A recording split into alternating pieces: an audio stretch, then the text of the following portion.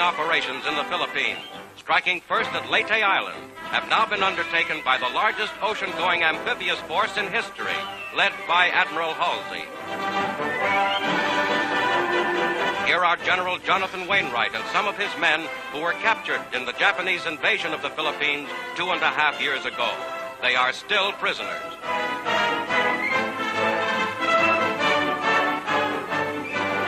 Now, fulfilling his pledge to the Filipino people, General Douglas MacArthur has returned, accompanied by overpowering military strength and by every able bodied man who, under orders, left the Philippines with him.